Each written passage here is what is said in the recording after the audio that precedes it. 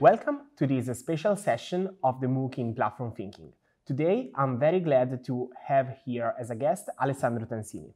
And the very first question I'd like to ask you, Alessandro, is uh, if you can tell us where you work and what's your background. Hello, it's a pleasure to be invited here. Uh, I'm Alessandro Tansini, as said, uh, energy engineer with a background on power production and automotive systems. And for the past five years, I've worked at the uh, European Commission Joint Research Center. You know, this kind of question usually is, is kind of easy in these, uh, in these kind of uh, sessions because people that are being interviewed here are working for digital platforms, you know, the, the topic of this course. Well, you have a completely different background and uh, you work for a company that's for an organization that doesn't really look like a digital platform. And the reason why you're here is for something that happened a couple of weeks, I would say, ago. Actually, the two of us know each other. We were talking at the phone, and uh, and something kind of strange happened.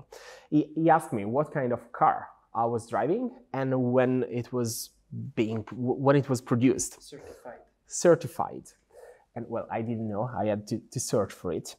And at that point, he started asking strange questions, at least to me, regarding uh, my willingness to have this object in my in my car for, for, for a bit of time. Alessandro, can you please tell us, to the people listening to us, why were you interested in those, uh, in those features of my new car? Sure. Okay. Uh, as said, I don't work with uh, digital platforms. I work in a research center where we uh, deal with uh, sustainable transport and we are interested in uh, monitoring the real world fuel efficiency and energy consumption of passenger cars. Not only passenger cars, uh, also heavy duty vehicles sometimes and commercial vehicles, but this specific device is developed to be used on passenger cars. And this uh, specific device monitors uh, the private use of car cars. And why do we need that? Every vehicle, when certified, is type approved with a nominal value of fuel consumption. So when you have to buy a car, you check uh, online or on uh, the material provided by the manufacturer, and you will see you are told that your vehicle will consume a certain amount of fuel in mixed condition or urban condition, highway conditions, and you trust these values. These values... Just to bring it to a very simple uh, level, because it's kind of out of topic for, for, this, for this setting. You're talking about the number of kilometers that you can do with a liter of, of fuel, for example. Yes, exactly. Okay, so the values that you see when you buy the car that might be kind of similar or not when you actually drive it. That's what you meant, right? Exactly. To bring an example, when you uh, check for the details of a car, you might read somewhere this car uh, consumes 5 liters per 100 kilometer of distance driven. So this is the nominal value. But this might differ from reality because this data, this specific value is uh, derived under certain conditions obtained in the laboratory. And in real world, you might have different conditions like climatic conditions or use conditions that uh, might cause the difference. So with this device, we want to monitor the real world fuel efficiency of vehicles. And this is important for us to monitor the efficiency or better effectiveness of a certification procedure for vehicles. We can monitor if there is a gap and how big it is between the nominal value and the real world value. So if you consume more than the nominal value, we can understand with this device. And hopefully we can also understand why, what's the, the, the factor that causes that deviation. The first thing that you asked me when we start talking about this thing was when my car was certified. Why does this matter? So this specific feature of my car was, was relevant. It matters because I needed to check on the availability of a feature that new cars have. Uh, new cars certified with the latest emission standard, Euro 6 AP, uh, but depending on the country, there might be different acronyms. Uh, with this latest emission standard, vehicles need to store in the control units some pieces of information like the total distance driven, the total uh, amount of fuel consumed in the lifetime. And if it is a plug-in hybrid electric vehicle, there are additional information. For example, the amount of electric energy that was charged into the battery. So because of this feature, data is available in a standardized way in, in control units of the vehicle, and this data can be extracted, extracted from the vehicle. So I wanted to know, I needed to know whether your car was compatible with this new feature. And this is something that you confirmed me with the date of production and also the acronym for the emission standards. And then I knew that I could use your car for the project.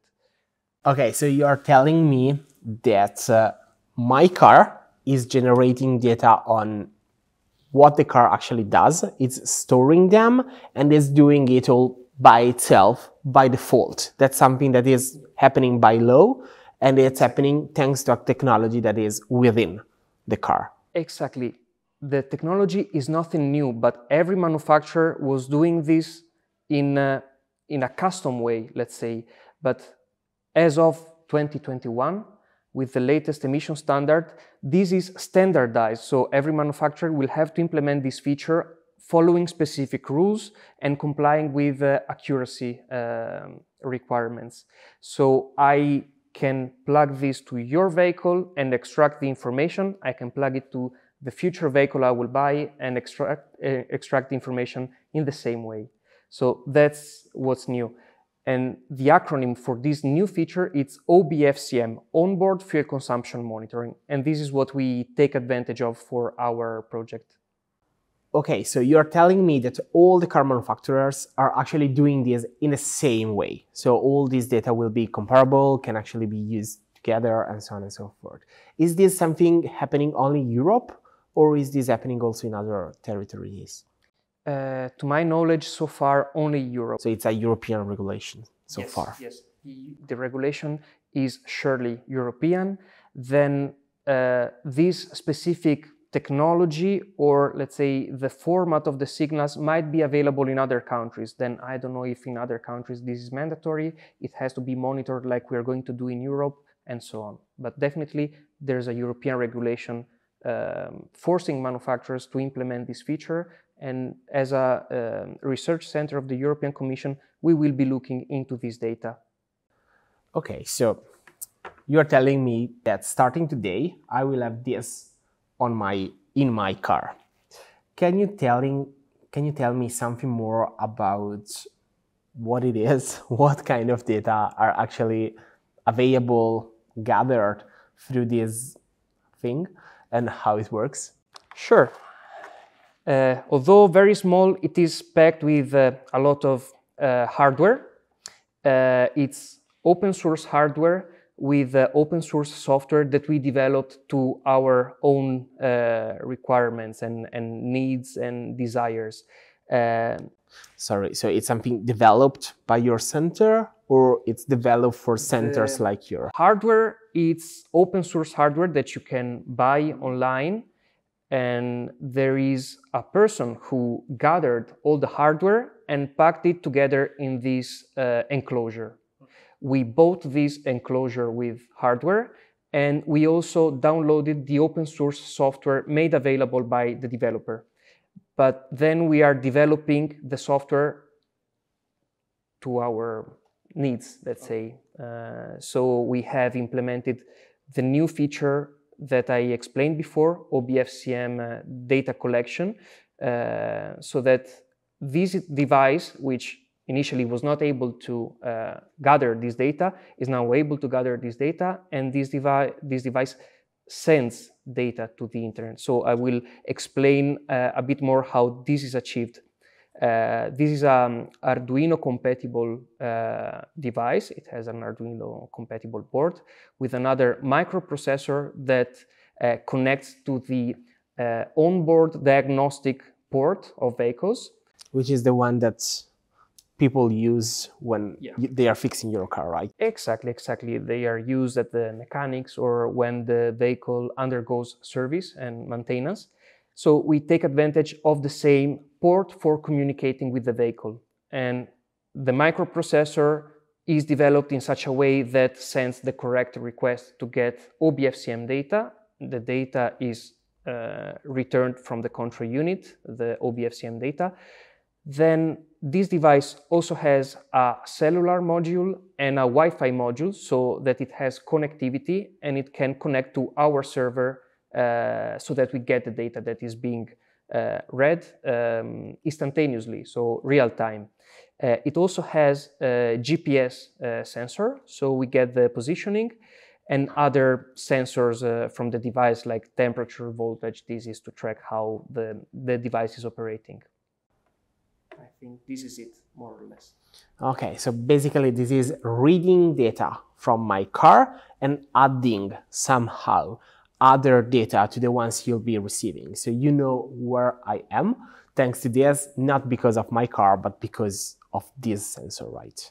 Yes, yes. So positioning comes from uh, the GPS module that is embedded in this uh, device, but from OBD, onboard diagnostics, we get both OBFCM data, so the onboard fuel consumption moni monitoring data that I introduced before, but also other instantaneous uh, signals that the car makes available for other reasons, which is vehicle speed, maybe ambient temperature, uh, accelerator pedal pressure, so I know how much you're stepping on the accelerator pedal, uh, might be engine load, might be other, let's say, um, information about how the vehicle is running. For example, the, the rotational speed of the engine. So we get quite a big amount of data, uh, which we use to characterize uh, the driving uh, behavior of citizens. Not because we want to track citizens, but because we are interested to understand in the fleet at country level how vehicles are used. So, for example, the average driven distance in one day or the average velocity.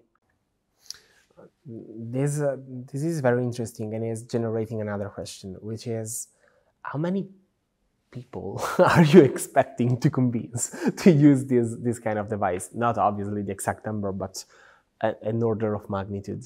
For this project, we are still in a very preliminary phase. This is the first, uh, let's say, deployment of a, of a technology like that and a device like that.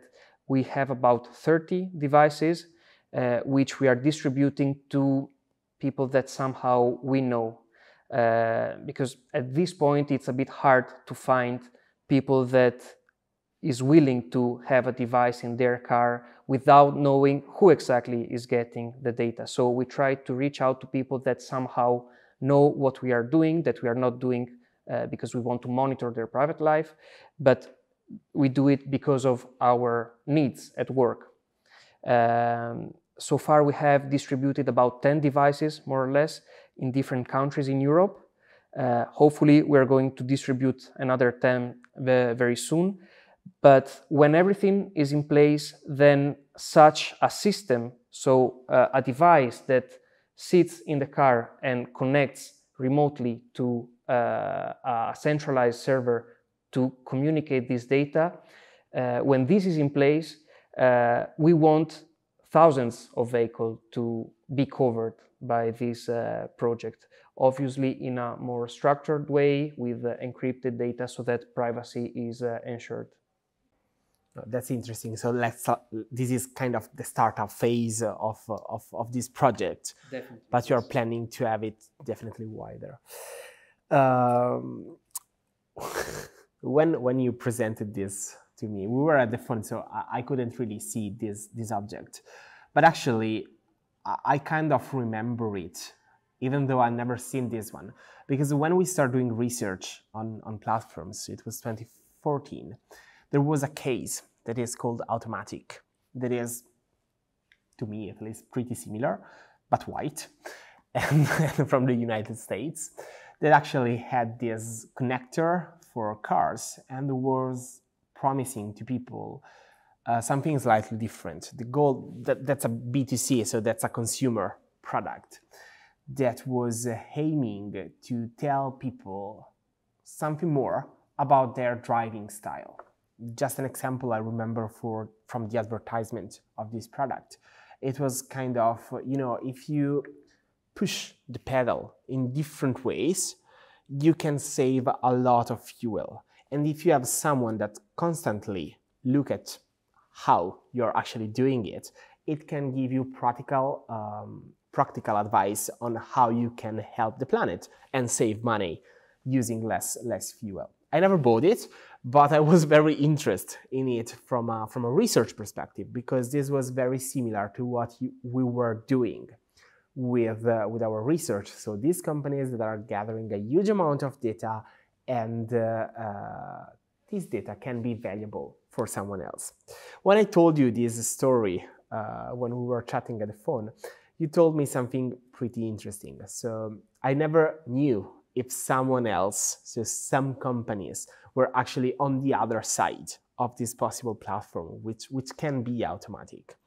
And what's your take on, on, on, this? What do you know about that kind of companies, not automatic in the specific, but those companies that do this kind of services? For us, they are a gold mine uh, because basically we are asked to um, support EU policies uh, by having an understanding of the real world, but we do not have eyes everywhere. And if anybody else was able to put their eyes around, then we are very willing on buying that data that let us better understand again mobility needs and what is happening out there in the world because we have certification uh, that um, let's say defines nominal values for things but then you have reality and you need to understand how is reality. Uh, if this differs uh, and how much from the nominal values for things. Um, our project is on cars, but there are uh, other examples to, to that.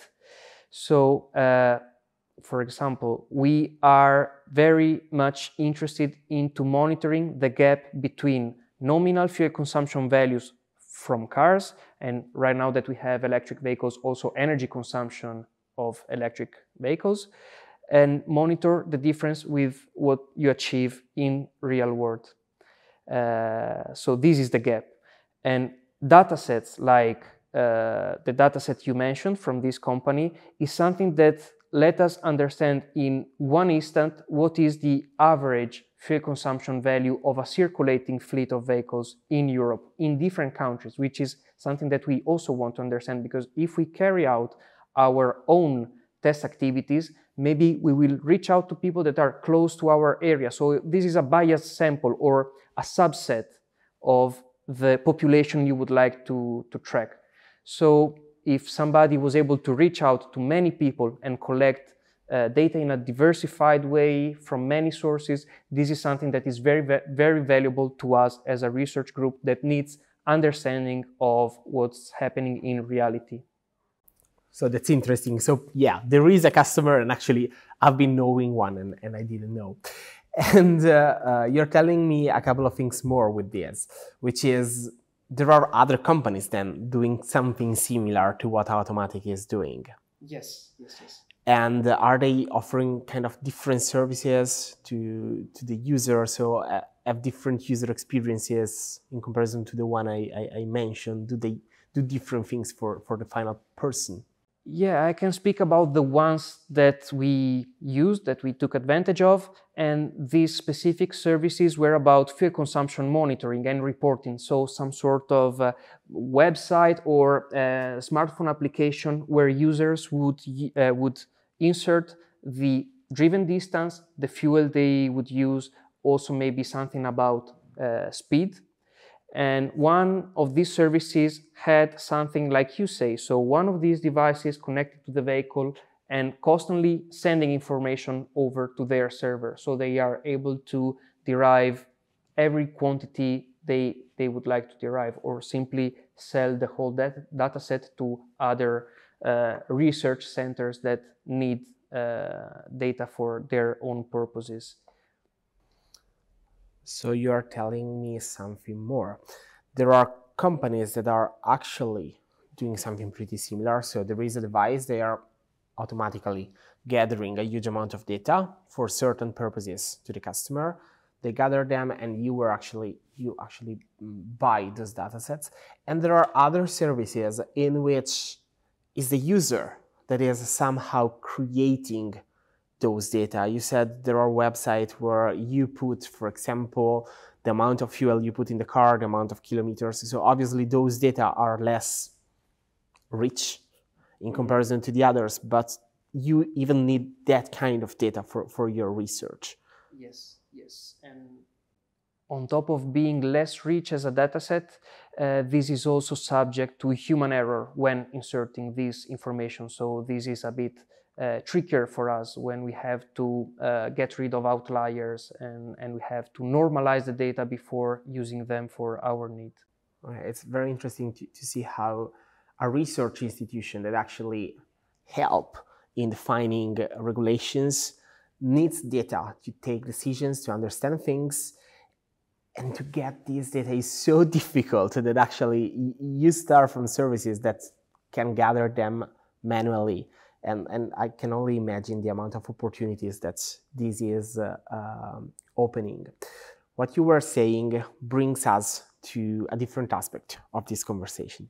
You were mentioning about uh, companies, various kinds of services that do gather data to offer something to an end user, to a customer, and then you are on the other side, talking about platforms, gathering um, and using this data for research purposes. You work for the European Commission, so I'm absolutely sure about the answer you are going to give to this, to this answer. But I want to make it anyhow, since it's a very important topic in this kind of discussion. Do you have any access, any view on who generated those data? What kind of data you actually see when you buy these data sets? No, we don't have that type of information. We don't receive uh, personal data from the people who um, joined these uh, activities. Uh, we uh, get aggregated data that are also anonymized, and we are barely uh, allowed to understand what type of vehicle was used. So we maybe get only the information whether it is a diesel engine, um, gasoline engine vehicle, and, and few other uh, characteristics that are relevant to the vehicles, not to the user. Okay, and is generating, is this generating any kind of issues for what you are doing? So do you care anything about who is the person that generated those data?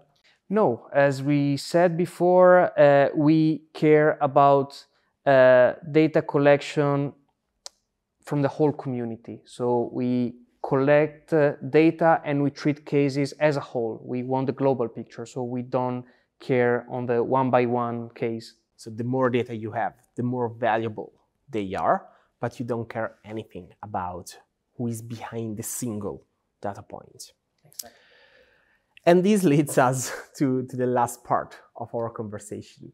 Uh, you know, we've got a personal relationship, so probably this conversation was kind of strange. But when I said, okay, uh, you can have my data in exchange of this interview, uh, you start asking things like, but if you wish, I cannot track your position. If you wish, I can switch off some part of of the data that I'll be gathering and so on and so forth. And, you know, recording these kind of courses and talking about these kind of topics, it would be pretty strange, at least to me, saying, yes, please keep that away. Yeah, I don't want to share them, especially with you then.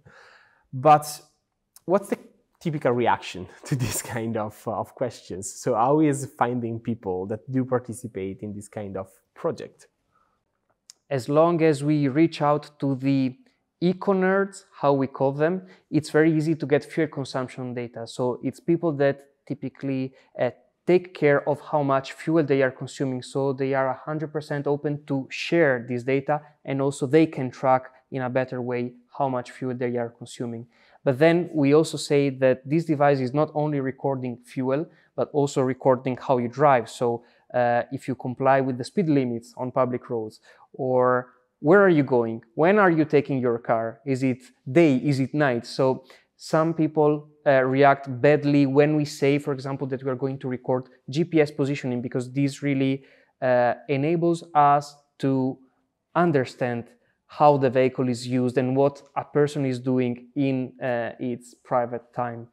But as said before, we treat data as a whole. And anyway, in order to reach out to more people, to get more volunteers for our project, we provide different options for joining us. So if they are completely open, we ask to get the whole set of data because that's very useful to us. We put more context to our data. So in case we have anything to analyze deeper, we have data on the side that might help us to better understand something about fuel consumption mostly. Uh, but if people do not agree on sharing positioning, then we can get rid of that and only monitor the driving signals. So, for example, speed or uh, uh, accelerator pedal, engine RPM, ambient temperature.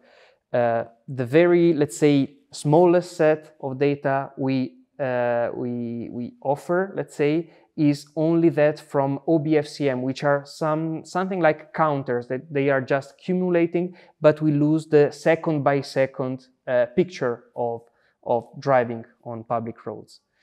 So this is only to reach out to more people because we understand that might, some people might not feel comfortable with sharing that amount of data. So in order to still collect the data we really need, which is the average fuel efficiency and energy consumption from vehicle, we are also okay with receiving a smaller data set. You are saying two amazing things for people that talks about platform. The first thing was related to the people that more easily accept to share this data, and you were calling them eco eco nerds. So people that are interested in, in the kind of work you are doing, basically, probably you it's not enough to have them on board because you need a wider picture. But uh, uh and we it, cannot only have eco nerds, otherwise that would be a biased sample exactly, again. We have yeah. to reach out to, to some eco nerds, but also to non-eco nerds. But there might be somehow a way to connect what you are doing with the people that actually create data. So this is kind of interesting. And the second thing was related to the fact that uh, you can actually leave freedom to the end user uh, in your in your experiment in your in your project to actually decide which data to put there or not. And this is something that is not very common in, uh, in, uh, from a user perspective, or better, it is common, but it is usually pretty hidden behind many features of the service. But it's very interesting to see that in a startup project, basically, it, it's something that you put at first, basically. You were mentioning something that is in my opinion, potentially very, very interesting. You said the more data you allow us to get, the more we can actually understand about the consumption of the car. And you said if I have the GPS uh, system, I know where you are basically. and so I was wondering, can you use this set of data to connect what is happening within the car with uh, I don't know what is happening outside the car with other databases that are not related to these objects, but uh, can be available, I don't know, online from other providers or things like that. Definitely, this is something that we do. And a reason why we ask for GPS positioning, for example, is that we are interested or we need to know if there is any road slope to account for. So your fuel uh, consumption increases when you're driving uphill and decreases when you're driving downhill. So from latitude and longitude, we could query services that return altitude profile of the trip that uh, the user is, is driving. But also we can connect this set of data to climatological data so that we can also derive other uh, quantities that we are not monitoring. We are monitoring, for example, average ambient temperature, but maybe also humidity could affect fuel consumption. You have to use your air conditioning system a bit more, maybe if the humidity is high, or solar radiation. This maybe will affect in a way that you have to use more the air conditioning again.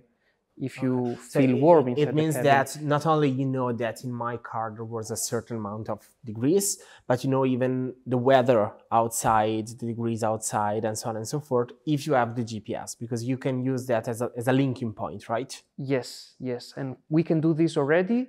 And something we might be doing in the future that we don't do right now is getting data on traffic. For example this could also be relevant to to uh, fuel consumption uh, analysis. Okay, so this was probably the most peculiar case we have in the entire course, something that don't look like a platform, and indeed, so far it isn't because you are looking it from you're looking at the world of platforms from another side, but it's extremely interesting to see how research can be powered by, by data that are gathered, in this case, through a prototype, uh, an initial project, but that potentially can scale up and, and leverage the data of thousands of people, even for the greater good of, of society and for the environment in this case. So thank you very much, Alessandro, for being here with us and for sharing your, your knowledge, your experience, and your project with us. Thank you.